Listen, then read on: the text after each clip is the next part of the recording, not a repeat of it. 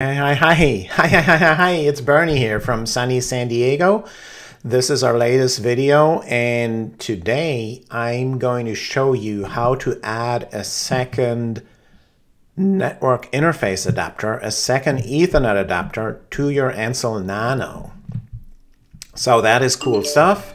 So you see my Antsle Nano here, it's named um, Daffodil and I go to the network tab and I actually have BR0 and BR1, two physical network interface controllers, both Ethernet, one gigabit Ethernet, um, both on my Nano. So how do you do that? One is built in, that is the BR0. The other one is connected via a USB 3 2 gigabit Ethernet adapter. You can get one on Amazon and the link is down below in the description of this video. Um, just get it on Amazon and use it with your Antsle Nano. So how do I do all that? Um, I'm logged into Daffodil here and, um, and I can do an IP address show, um, which gives me all my IP addresses. Um, and um, we have the BR0 here, right, which is our, our, you know built-in interface adapter, and that's connected to ETH0, which is the Ethernet 0. And then the one that came up with the adapter, um, the USB to gigabit Ethernet adapter, it's called ENP0, uh, ENP1S0U2. So you see that here. Um, and then and then the BR1, which is here, that's connected to that one.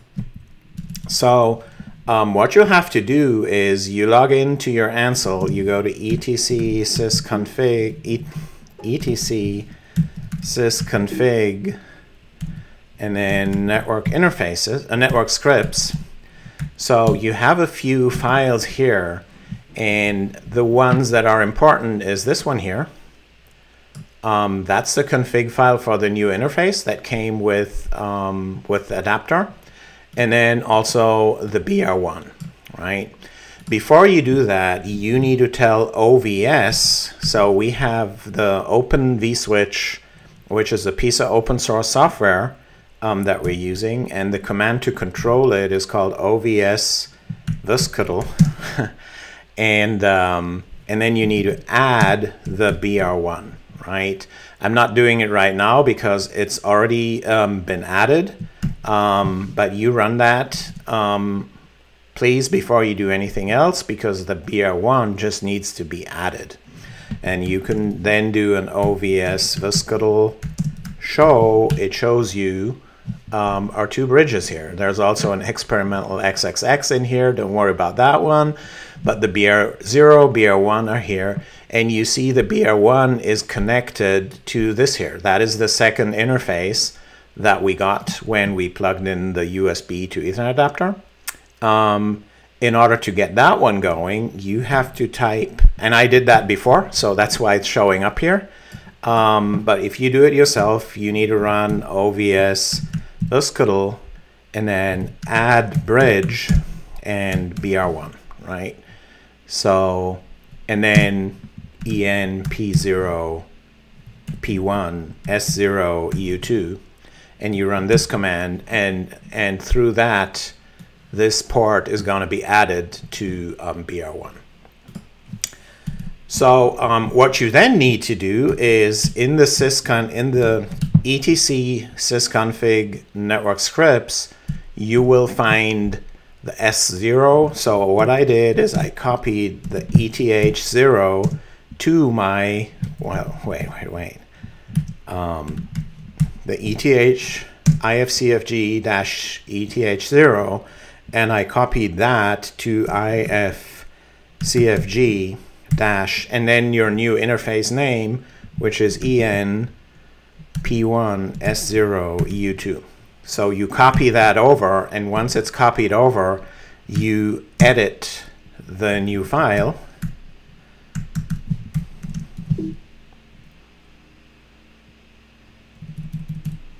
CFG and then that new file here and then um, you need to you need to put in that name here because after you copied it, it will just say F0. So you need to replace that one with the correct interface name and you need to make it BR1, not BR0, right? When you copy it, it says BR0 and you need to put in your MAC address of the new interface. So how do you find the MAC address?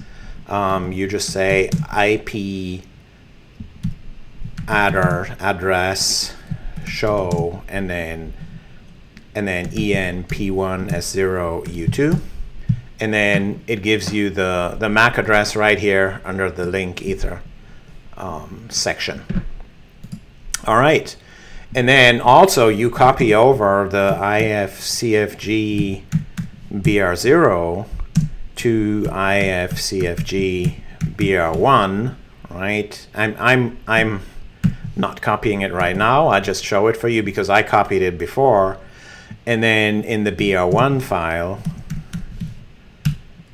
um, you do the same thing. You replace BR0 with BR1.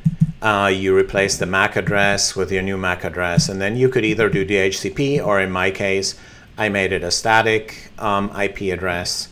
And uh, you can make those settings also in Antman in the network settings uh, later on, or you can change them in Antman.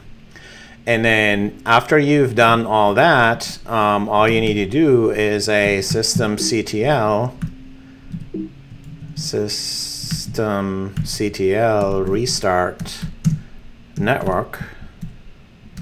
And with that, the network restarts with the new configuration.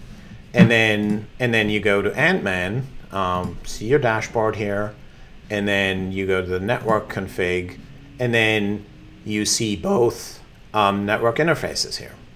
And then if you have the SDN functionality, depending on your Antman plan that you have, um, you can create VLANs, virtual networks, and uh, you can say what interface they're on and all these type of things. And um, yeah, you have two network interfaces and that's the basis for using it as a firewall, which I will show in one of the next videos. Um, so you could use one NIC for the incoming traffic and the other for the outgoing traffic and use your Nano as a firewall device um, using some software, pfSense, OPNsense, or OpenWRT. Um, actually, we're going the route of OpenWRT because that is very well available for the Nanos and for the ARM architecture, pfSense and and OPNsense are more limited and, and, and, more made for the Intel architecture, so they would run on the Antsle 1 and Antsle 2 devices. For the Antsle Nano, OpenWRT is a great solution, and uh, watch out for that in one of our next videos.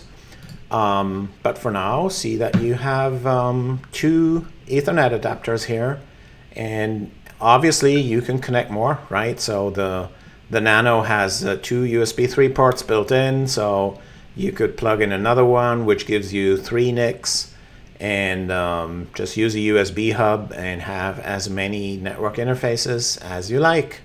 Hope you enjoyed this little video. Talk to you soon. Bye.